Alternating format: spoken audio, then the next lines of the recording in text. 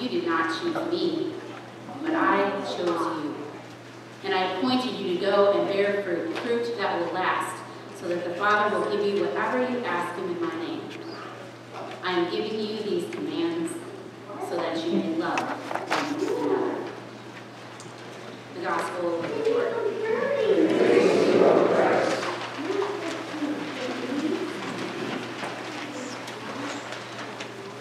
What a night this is. The events of Maundy Thursday within the story of our faith are so vividly depicted, so dramatically played out. On this night, Jesus serves his disciples the Last Supper. On this night, Jesus kneels as a servant to wash the feet of his disciples. On this night, Jesus delivers the farewell discourse, those last conversations between Jesus and the disciples when Jesus tries to share with them and remind them all they need to know to carry on without him. On this night, Jesus promises that the advocate, the Holy Spirit, will come to the disciples and guide and teach them in his absence. This night, Jesus gives the twelve a new commandment to love one another.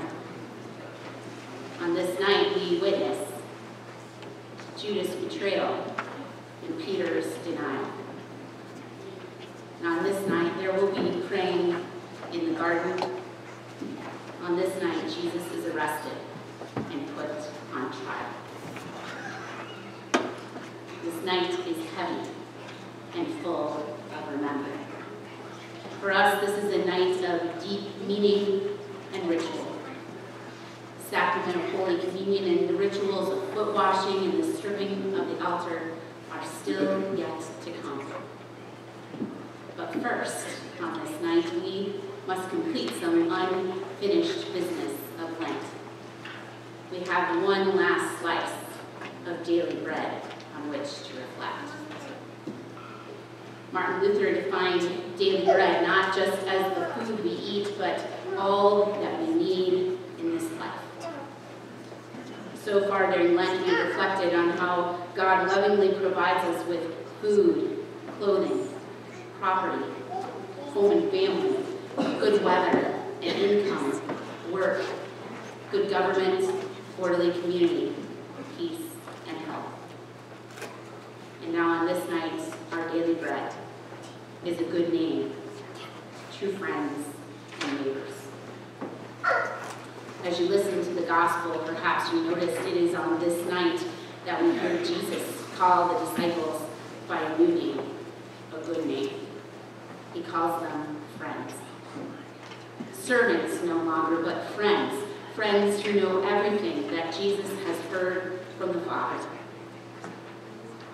Well, surely they were his friends already before this night, leaving behind family and livelihoods to join him in the mission and work of the Father. They've spent three years alongside Jesus in his ministry of being a friend to the friendless, healing the sick and the outcast, cleansing the lepers, sharing meals with prostitutes, tax collectors, and other famous sinners. That is our Lord Jesus, friend of the friendless, companion of the lonely. Studies show that we as a society are getting lonelier. Even with all the connections that our technologies provide to us at the swipe of a screen, we are lonely. Some of it is a symptom of our mobility. We don't stay in one place long enough to form strong ties anymore. And when we transition to someplace new, we struggle to make those new connections, new friends. We find ourselves alone. The other piece of this loneliness is emotional. We can be lonely in a crowd. We appear to be connected to a supportive network, and yet we can still feel isolated. Medical evidence reports that either way, this loneliness is bad for our health. In fact, the loneliness we experience, whether it's that form of actually being alone or whether it's the emotional feeling of isolation, All of it increases mortality rates, like medical conditions such as heart disease and diabetes. On this night, even surrounded by his disciples, his inner circle, how lonely must Jesus have been? On this night, Jesus will be betrayed, denied, and deserted. All of them who have shared the cup and bread with him, all of them who have felt his gentle hands wash their feet, and all of them who are hanging on his every word, listening intently to his teaching, all of them will be gone by night's end. Still Jesus calls them friends. He reminds them that they did not choose him, but he chose them. Their friendship depended on the gracious choice of Jesus. On this night, when he names them as friends, Jesus also gives them a calling, a command. Bear fruit and love one another. Show love by sacrificing something of yourself for another person. Be friends to the friendless. So it is that Jesus calls us and commands us as his disciples here and now to be friends. Being a friend of Jesus means being a friend to one another. In this epidemic of loneliness, to whom can we reach out? An elderly neighbor who doesn't drive and whose family is out of coworker who recently relocated to the area. Or what about that veteran you see each week at the grocery store in his camo jacket and his dog tags with TV dinners in his basket and emptiness in his eyes? So many unseen factors work to isolate us. And well-meaning people assume that we have all the help and friends we need and simply just don't want to intrude in our lives. I know I've erred on the side of caution, giving sick friends their space, privacy. However, oftentimes so does everyone else. And that network of support that they needed before, that they had before they were sick, is now invisible when they need it the most. The same can be true for those we know who are grieving a loss of a loved one or the loss of a marriage and divorce. One thing to understand if they decline our invitation, but it's another not to invite them at all, thinking that they just won't come. They're in too much pain, too much grief. The quiet pain and suffering of loneliness is a part of depression, addiction, broken family relationships, job loss, chronic illness. It touches our lives and the lives of family and neighbors and strangers on the overwhelming busyness of our lives isolates us too. And our busyness combined with the pressure to look like we're handling it all just fine, very much. That's a combination meant for loneliness. Being a friend to others in their loneliness can help us to trust and reach out in our own isolation. So to whom can we turn? Well, I hope the answer is to anyone in this room. Anyone listed in the Gloria Dei directory. Not just the ones we know, but even the ones we only sort of recognize from Easter and Christmas. Because friends of Jesus, the Jesus who's a friend to the friendless, friends of Jesus ought to be a sure thing when someone's in need. Gloria Dei also has an excellent, trained, and compassionate group of Stephen ministers. And they will listen and they will pray and they will just simply be there for anyone experiencing the pain of loneliness. And if that sounds like something that would be helpful to you or to someone you know, it doesn't have to be a member. You can talk with Pastor Randy or myself to get connected to that program. But do not underestimate the value of a small gesture. so many small gestures that require no training at all. An email, a text, a phone call, a handwritten card, remember those? They can break through the wall of loneliness in powerful ways. A smile, a handshake, a hug, just a few extra minutes of face-to-face chatter about the weather with a store clerk. They break through our isolation.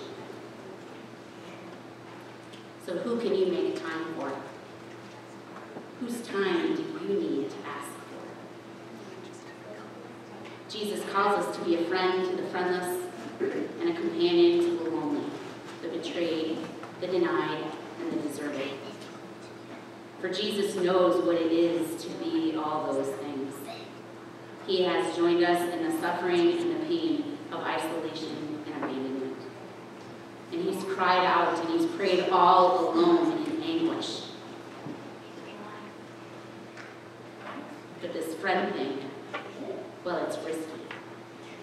It requires sacrifice on our part, some laying down of ourselves for one another and for the stranger. And we face the possibility of rejection. The disciples betrayed, denied, and deserted Jesus, and we also fall short of true friendship to one another. Our busyness wins the day, so we turn away from someone who could use our time. Where our fears of being judged, hurt, or rejected keep us locked in our loneliness, not calling for help. But on this night, we remember thankfully that Jesus chose us. We didn't choose him. We, we can't choose him. It's his love, it's his friendship that has the power to change us, to heal us, to connect us. We receive friendship and love from him before we are called to share it with another. In a world that seems hell-bent on divisions and walls, on separation and isolation, what changes, what hope might the simplest gestures of friendship bring? What bridges might we build across race and religion and gender and age and socioeconomic class? What if we can see every person we meet as someone Jesus would befriend? Whether it's the victim of violence or the perpetrators of it. Remember, Jesus even washed Judas's feet.